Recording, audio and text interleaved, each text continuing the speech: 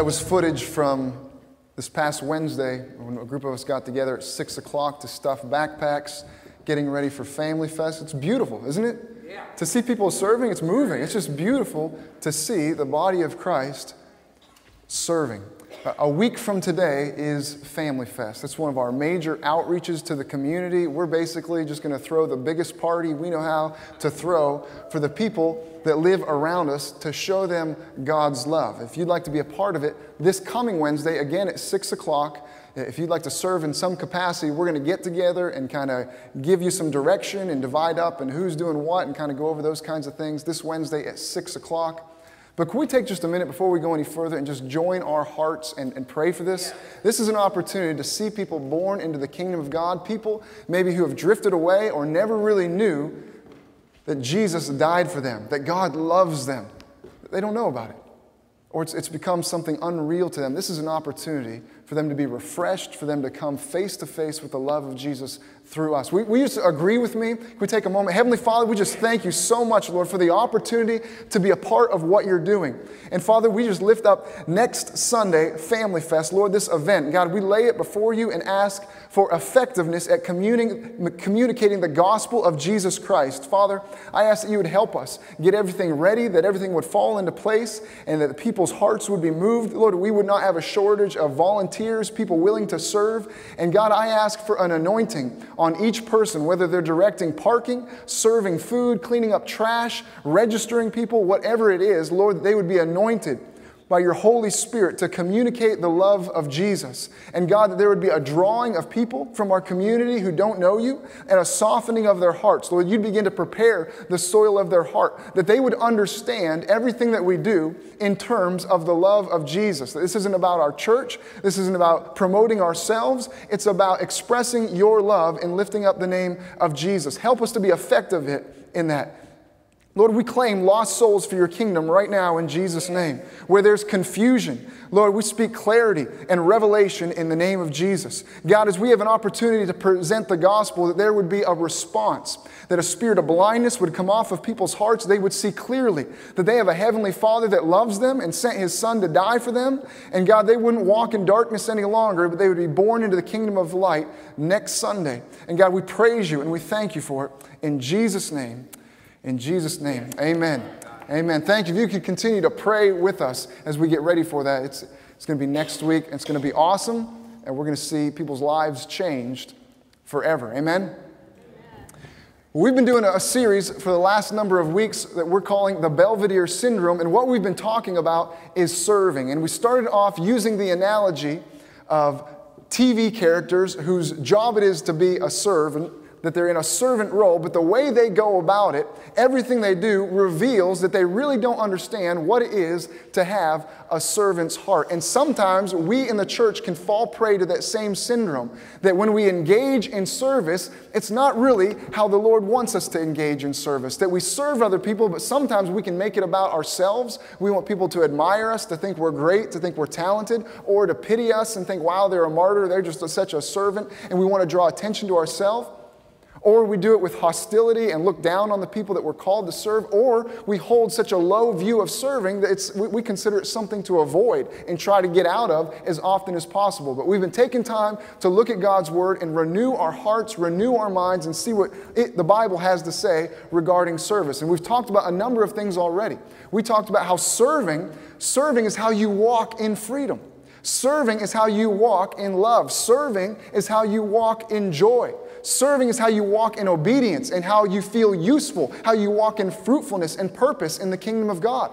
Last week, we looked at a passage of scripture that showed us that having an opportunity to serve, it's not some unfortunate obligation as being a Christian. It's a privilege and it's an honor to get to serve, and that's how we need to view it.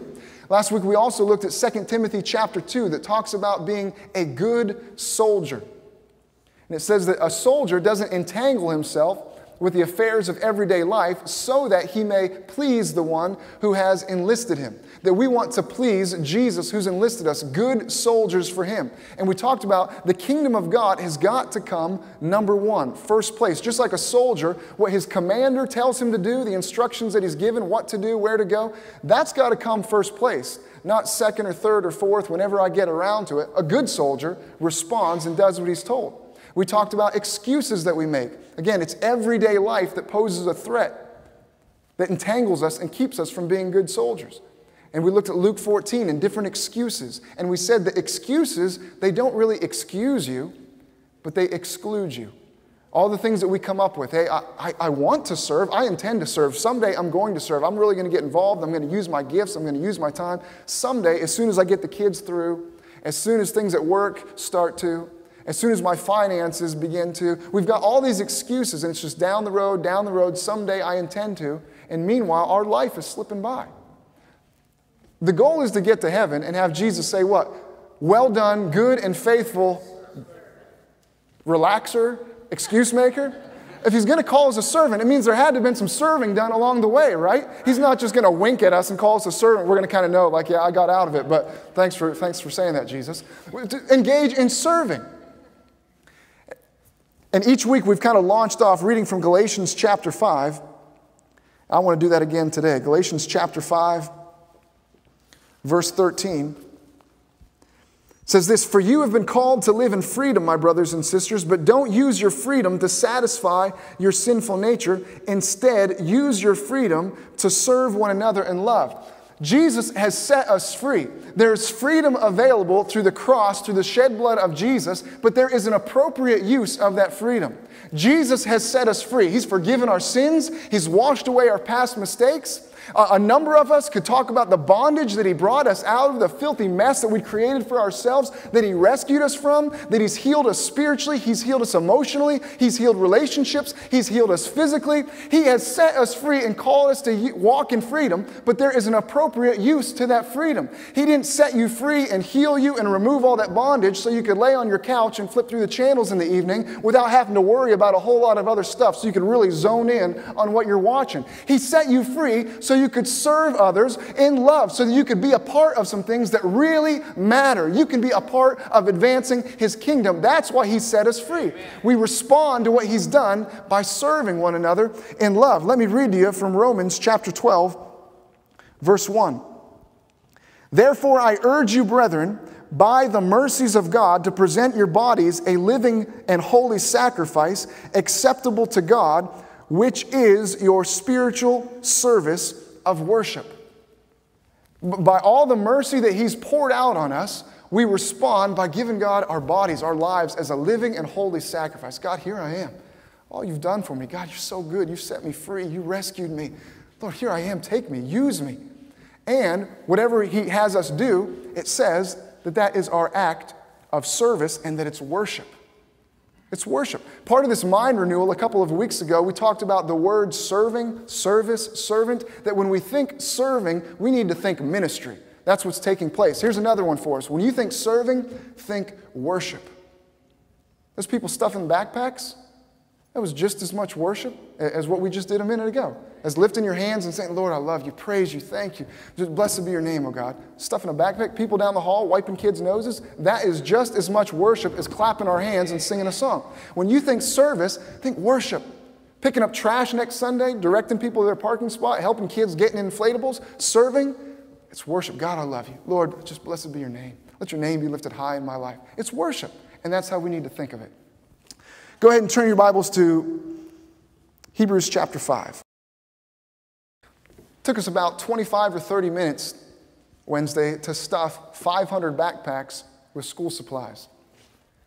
But enough people showed up to serve. Uh, if that was just me or a couple people's job, that would have been a miserable task and it would have probably taken all day long to do all that. You get a bunch of people serving together, we, we knocked that out in 25 minutes, and it was fun doing it. We're interacting, we're talking. And serving together in the body of Christ is a wonderful, beautiful thing. And that's how we need to understand it to be. Hebrews chapter 5, verse 11. There is much more we'd like to say about this, but it's difficult to explain, especially since you are spiritually dull and don't seem to listen. You've been believers so long now, you ought to be teaching others. Instead, you need someone to teach you again the basic things about God's Word. You are like babies who need milk and cannot eat solid food. For someone who lives on milk is still an infant and doesn't know how to do what is right. Solid food is for those who are mature, who through training have the skill to recognize the difference between right and wrong. Heavenly Father, speak to our hearts this morning. Lord, I pray for revelation and understanding in each one of us. Lord, let there be a tenderness and an openness to receive what you have for us. God, that we would move towards maturity fruitfulness, pleasing to you. Lord, I ask you to use me. God, let my mouth be connected to your heart this morning. Lord, we just give you this time together in Jesus' name. Amen. Uh, I, think, I think most of you guys know that my wife is pregnant, and uh, we did not intend for her to become pregnant. Um, not too long ago, we did a series on the Song of Solomon. And as a pastor, I feel like it's important to practice what I preach. And so here we are. Um, we've got three kids, and the youngest one is almost five, so we really thought babies and diapers and bottles, we thought all that stuff was behind us, and we were moving on to like phase two of being, being parents. We thought we were done with babies, had no intention to kind of reset the clock uh, on that kind of thing. But like I said, um, here we are.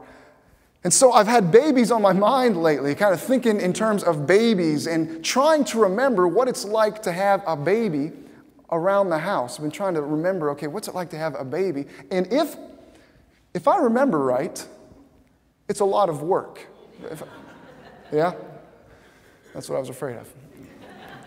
I seem to remember it being a, a lot of work because babies, babies don't really they don't really help out at all. They don't really do anything. And I'm not anti baby. We're excited, we're thankful, all of that. Uh, so I'm not, I, I, like babies. They're great, they're cuddly, and all those things. Part of my story, my testimony, I used to be a baby myself. So I'm not, I'm not anti baby in, in any way. It's just that they don't contribute. They don't, they don't do anything at all. There, there's nothing, the only thing they really do is make more work for other people. And they just kind of require other people's care and other people's work. Now, our other kids are young. They're young, but they can, they can do some things. They can uh, dress themselves and go to the bathroom on their own. Um, they can feed themselves. They, they, can even pick up after themselves. Uh, occasionally do some chores and even help pick up after other people. But not babies. You have to do everything for a baby. You have to feed it, you have to wash it, you have to carry it around. You have, to do, you have to burp it. I mean, who can't burp on their own? You've got to help a baby burp. They need you to do everything for them. Babies are a lot of work. They require you to do everything for them. And if, while you are doing everything for them, you don't meet their standards, they cry. They cry. And a baby cry is not like an adult cry.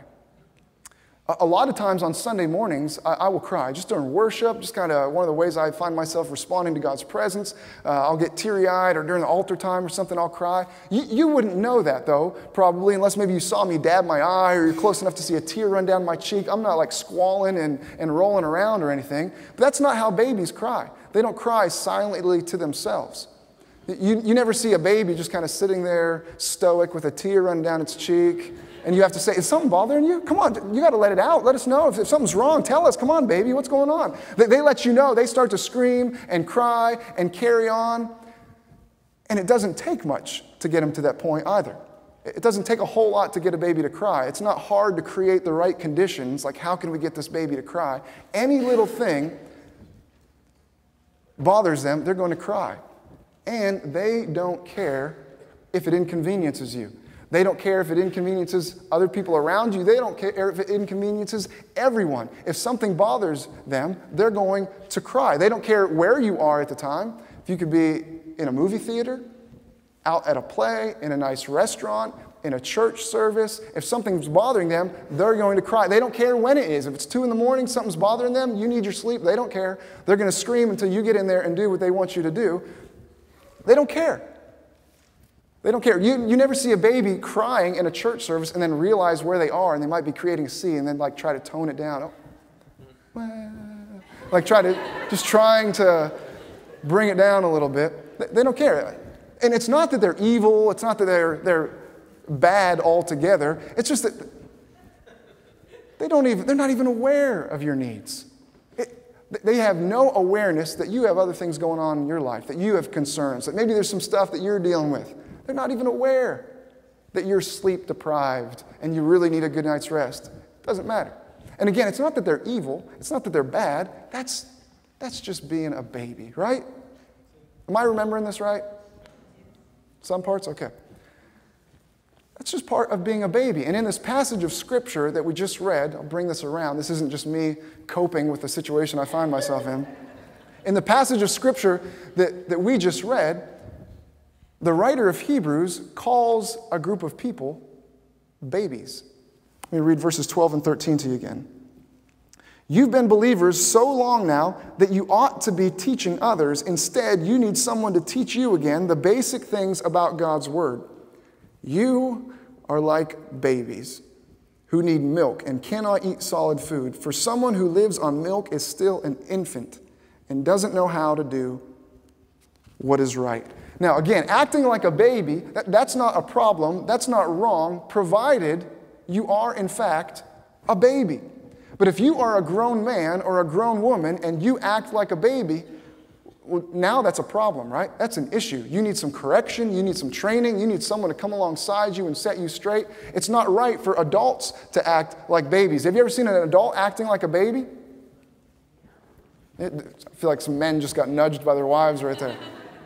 It's unpleasant. It's ugly. It's not a pleasant thing to see an adult acting like a baby. In fact, babies are wonderful, they're great, they're, they're, cute, and all of that kind of stuff, but we can even use the term baby as something derogatory. Uh, let's say after church today, everyone's kind of hanging out, we're fellowshipping and talking to one another, and Pete and I are talking, and you overhear us talking. And you know that we're talking about you, and we don't realize you can hear us. And as you, you listen in, you hear me say, Yeah, that's the thing about them. They are such a baby. That's exactly, they, they're just a big baby. And you heard me talking about you like that. Now, your response is not going to be, Luke thinks I'm cute and I'm cuddly. and when I'm cleaned up real nice, I've got that baby powder smell, baby lotion, I don't know what it is, whatever makes a baby smell good when they're clean. Luke thinks I'm just like a baby. Or you're not going to think, you know what? I think Luke has a crush on me. I heard him calling me his baby. I'm going to have to talk to Beth about this. What your response is going to be is you're going to want an explanation or an apology or both. Why are you going around telling people that I'm a big baby? Babies are innocent. Again, they're wonderful, they're snuggly, all of those things, but we can still use that term as a way that can be almost insulting and offensive. And the reason is because we have a general understanding that over the course of time, people should become less and less baby like, and they should go on to maturity and put baby things behind them and move forward. That over the course of time, that is what should take place physically, and that's also what should be taking place spiritually, and that's what's being talked about in this passage of scripture that we just read. That the writer of Hebrews is looking at these believers, and by the evidence that he sees, what he knows about them, he has no choice but to say, You guys are a bunch of babies. In fact, he takes it a step further. Really, infants. You are being infantile. You need milk.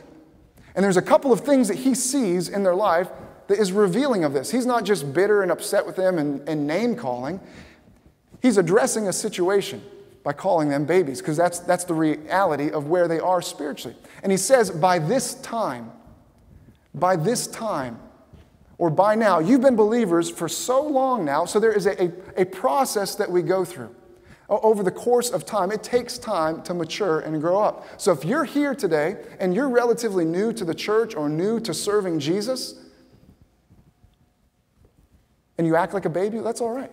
Because, right, it's okay for babies babies in Christ to act like babies. But if you've been in the church and serving the Lord for five years, 10 years, 20 years, and you're still behaving like a baby, well, then we've got a problem, right? right. Some, some, changes need to be made. And it's not, I'm not saying that to put anyone down or, or bring condemnation. It was just, we, we got to make some changes. We need to do some things differently so that we can grow up. So there's a, a a passage of time here. You can't expect a baby to just mature instantly. You, have got to give it time. So that's part of the process. The issue for these people was they had that amount of time. That whatever the allotment of time was, it had come and gone, and they were still baby. And there, there's something he sees in them that identifies them as being immature and baby like. He says this. You are like babies who need milk and cannot eat solid food. You've been believers so long now that you ought to be teaching others. Instead, you need someone to teach you again the basics. They still needed other people always to be nourishing them. That, that was what he looked at their life and saw. You, you guys are babies. I can see that because the mode you're still in is what can other people do for me? How can you meet my needs? How can you serve me? How can you come along and nourish me in some way? And that identified them as immature. They were babies because they were still in just self focused. How can you provide and care for me? Immature. They're babies. And it doesn't say this, but I almost guarantee you when you've got those kinds of believers, another baby like characteristic in their lives was when something didn't suit them right, things didn't happen the way they wanted, they cried about it. Serving is a mark of maturity. You can look at your own life, you can just do a diagnosis right now. Am I serving? Am I involved? Where in my life is my focus helping someone else? Serving is a mark of maturity. If you don't see that, again, there's no condemnation. You just need to make some changes. If I'm not actively involved in serving, serving is a mark of maturity.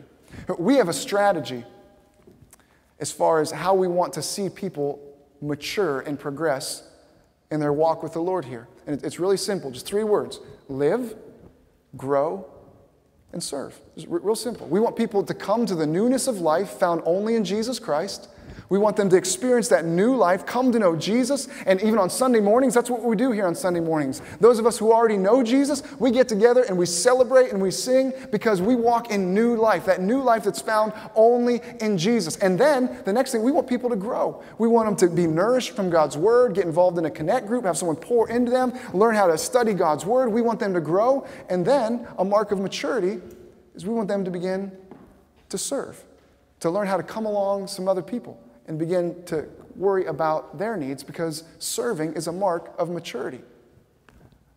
Fruitfulness, bearing fruit. Even uh, I've got some blueberry plants in my backyard that you're probably sick of hearing about. But I've bought them at, at, different times. And so I've got some that I've had for like 11 years and some that I just got a couple summers ago. And they're at different levels of maturity.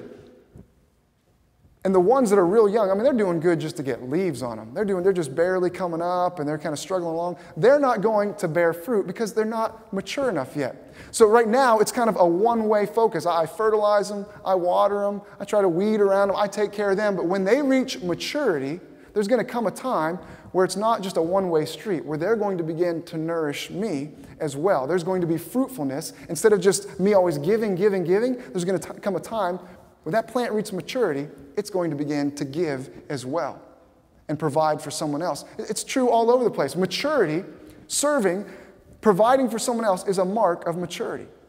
Serving is a mark of maturity, but it's also, serving is a means of maturity.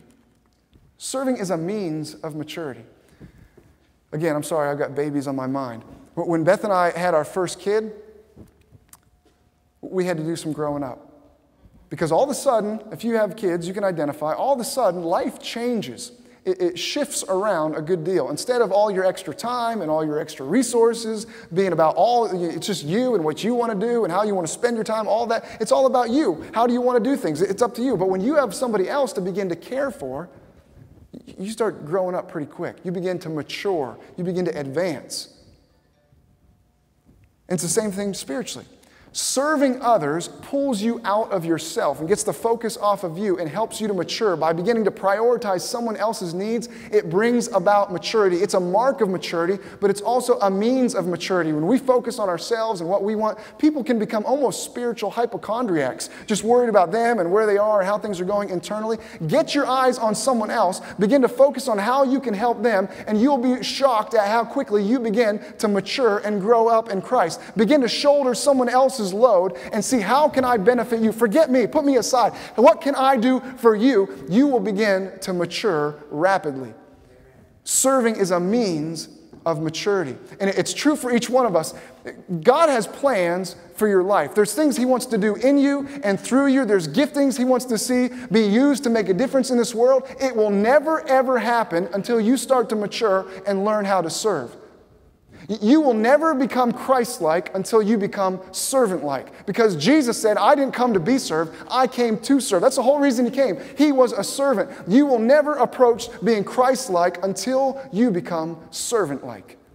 It's true for us individually and it's true for us corporately. Let me read to you from Ephesians chapter 4. Ephesians chapter 4.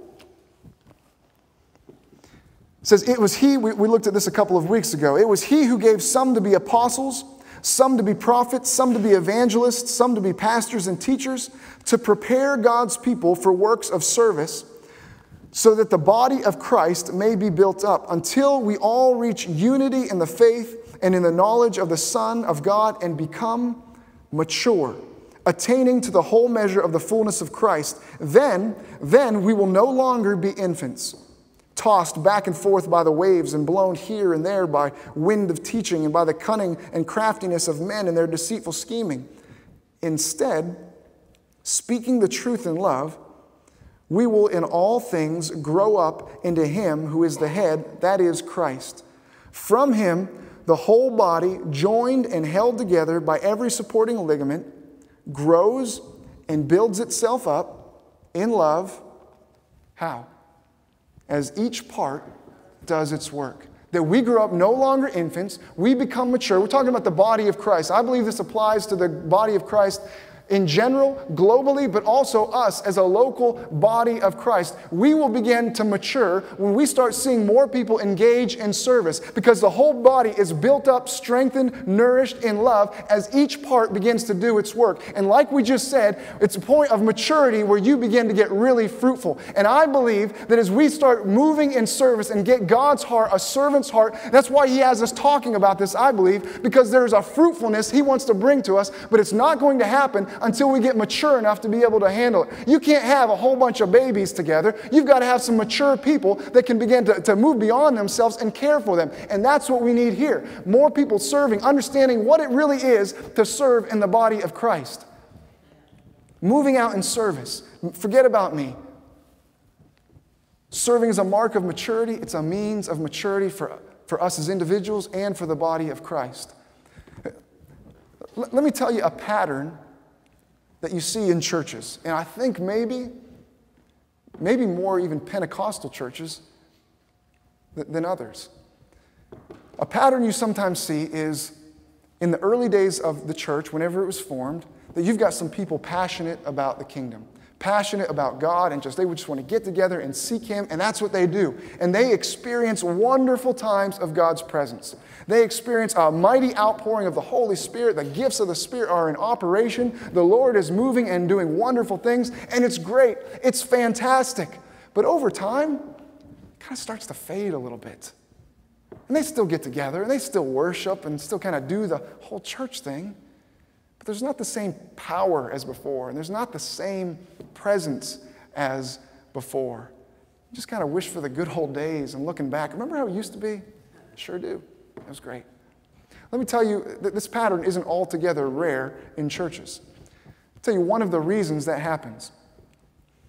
When we begin to make experiencing the presence of God, which is a good thing, and experiencing the moving of the Holy Spirit, which is good, but when we begin to establish that as the goal, without developing the heart of a servant to actually do any of the things that the Holy Spirit comes to deal with us to do, then we begin to grieve and stifle the Holy Spirit. If we don't develop a servant's heart to actually carry out the things that the Holy Spirit comes to equip us to do, then what's He doing? He's not coming to entertain and just give us some warm fuzzies and send us back out to live life the same way we did last week. He comes to deal with our hearts, to show us things to do, and to give us the ability to carry out those things. He comes to equip us for ministry. Ministry is service. He comes to equip and deal with our hearts. Here's what I need you to do in my community. Here's what I need you to do with your neighbors. Here's what I need you to begin to do and serve in the body of Christ. And if we're just coming together to feel His presence and give each other a high five and do it again next week, I believe we grieve the Holy Spirit. We've got to develop the heart of a servant to carry out the things that He deals with us to do.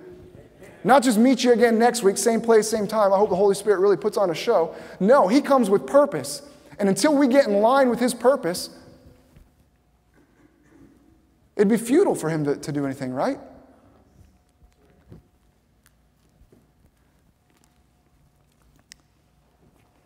Christopher, you can come up to the guitar for a minute.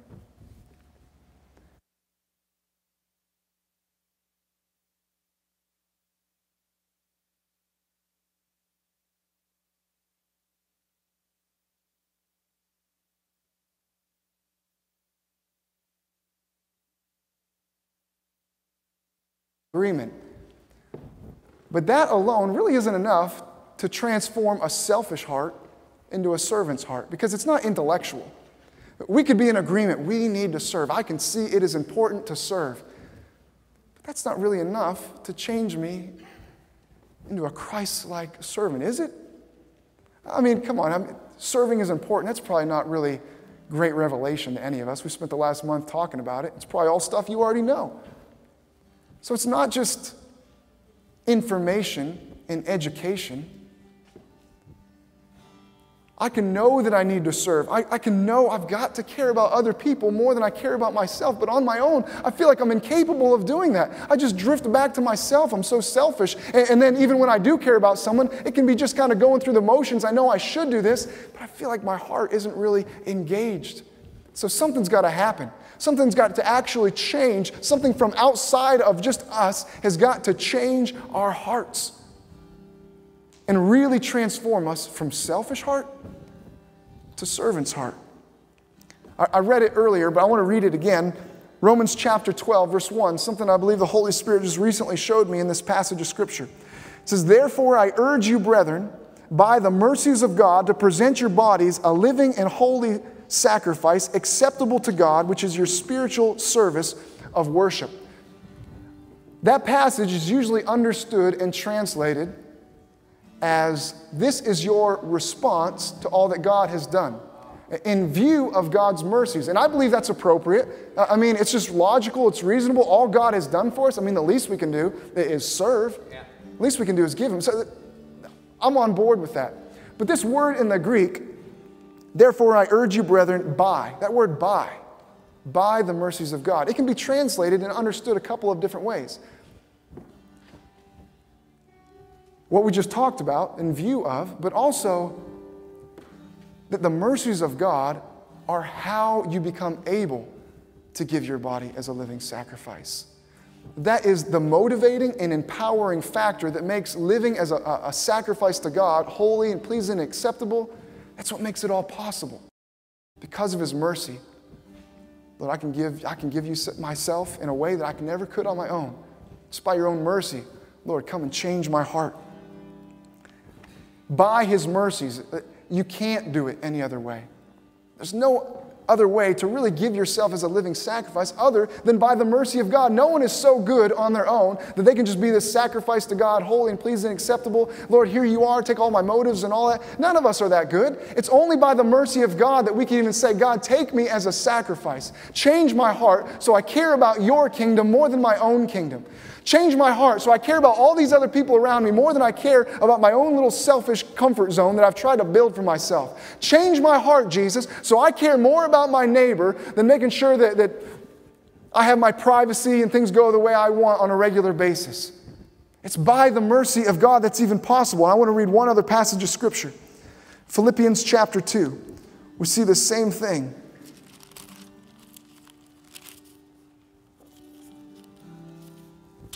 Dear friends, you always followed in my instructions when I was with you, and now that I am away, it's even more important. Work hard to show the results of your salvation, obeying God with deep reverence and fear. For God is working in you, giving you the desire and the power to do what pleases Him. It's God who works in us to give us the desire in the first place, and it's God who works in us to give us the ability to follow through on the desire that was from Him, it's all Him. It's all Him. So I don't know where you are on that spectrum as far as being a servant, actively serving, caring about others, advancing the kingdom of God. But wherever we are in that spectrum, God meets us right there. God, I, I want to care about others. I really do. That's no problem. God working in us to give us the desires that please Him. God, I, I, want to serve you. I have that desire. I've just never been able to actually follow through and make good on, on that desire. I want to. No problem. God can give you the power, the ability to also do what He's dealt with your heart to do. Just a willingness on our part.